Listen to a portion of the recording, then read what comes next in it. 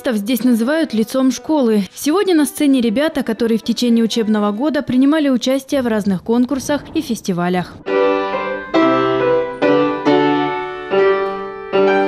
Илона Елтонская учится в музыкальной школе уже седьмой год. Получает только отличные оценки. В этом году готовится сдавать экзамены и получать аттестат. Профессионально заниматься игрой на фортепиано она не планирует. Говорит, музыка – это для души. Когда играешь какие-то пьесы на фортепиано, иногда не хочется, чтобы руки останавливались.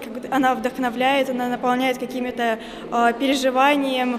Э, иногда через музыку можно выразить какое-то свое настроение, иногда можно прийти домой и просто э, выиграться прямо на фортепиано так, что все, вот прям выложить все свои эмоции, которые тебя переполняют внутри. Общий отчетный концерт всех отделений музыкальной школы пройдет 27 апреля.